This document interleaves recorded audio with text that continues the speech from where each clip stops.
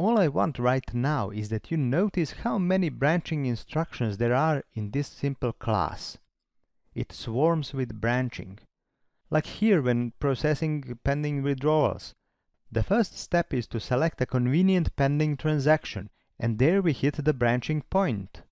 This uh, strict transaction order boolean flag was supplied through the constructor and it tells whether pending withdrawals should be executed in strict order of arrival or we could pick smaller requests first and wait for more deposits to pay larger bills. This if-then-else statement is of the worst kind. You should definitely try not to have any such branching statements in your code. More on that later. The next method that is very interesting is this um, try select first pending transaction. This method begins with the if-then return instruction straight away. This form of branching instruction is called guard clause. It guards the method from executing under conditions to which this method does not apply.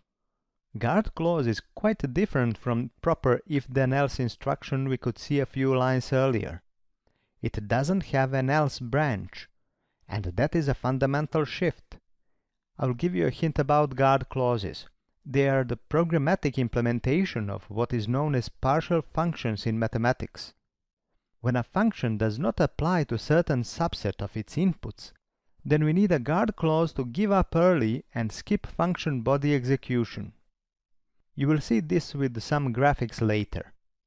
There is one more form of branching instruction in this class. Public methods try, withdraw, and deposit begin with a very specific form of guard clause. This is the so-called if-then-throw guard clause. You will also hear the term if-then-throw design pattern. This guard clause is applied to public interface of the class. Certain values or combinations of input parameters are unacceptable to an object typically null references, empty strings, non-positive values like in these money-related methods. If then throw guard clause is there to throw an exception should the caller attempt to place a call that cannot be executed. Deposit with the negative amount could be turned into a withdrawal and be done with it. But credit account class is not entitled to make such decisions. All decisions must be explicit deposit method must deposit money. Therefore, deposit method throws an exception when faced with non-positive input, and so does the try withdraw method.